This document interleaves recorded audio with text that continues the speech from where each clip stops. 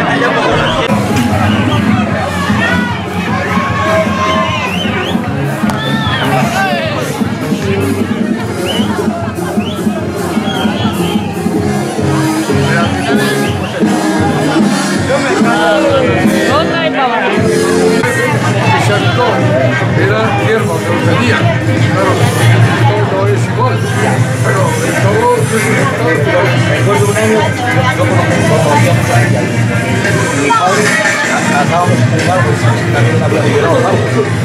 Y casábamos con un árbol, y él también era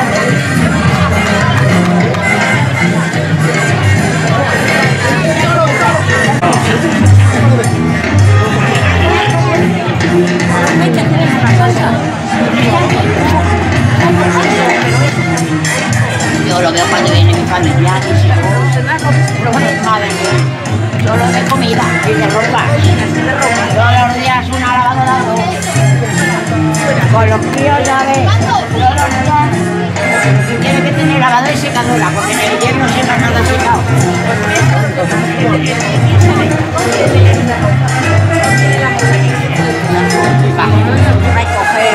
Yo digo que ya, ya ahora por eso, ahora cuando me va a tener no piensa lo que no piensa eso.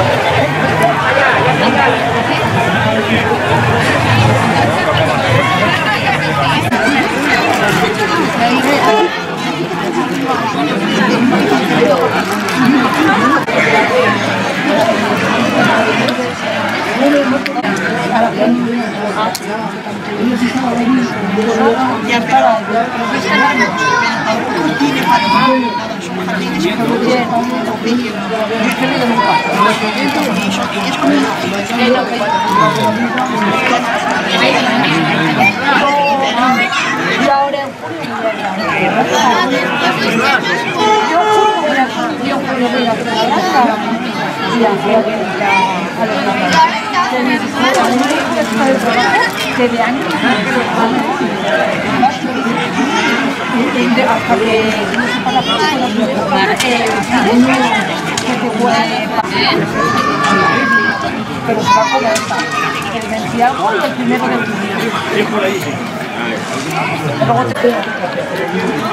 来来，要给俺送到那了，哈哈哈哈哈哈！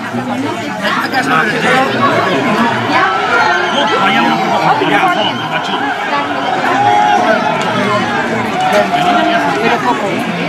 ？Thank